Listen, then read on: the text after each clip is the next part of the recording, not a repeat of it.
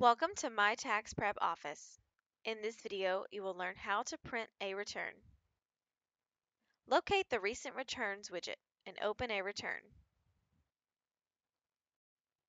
Click on the Print menu dropdown. Select Print Return.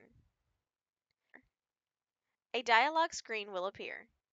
First, select if you would like the returns to be password protected when printing. You can choose to mask sensitive information as well as choose a watermark here.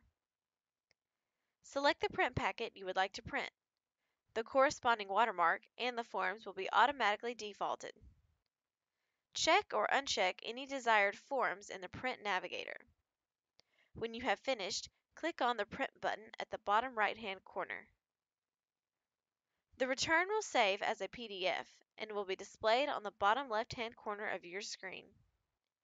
Click on it to see a print preview. You can save it to any location or click on the printer icon to send it to the printer.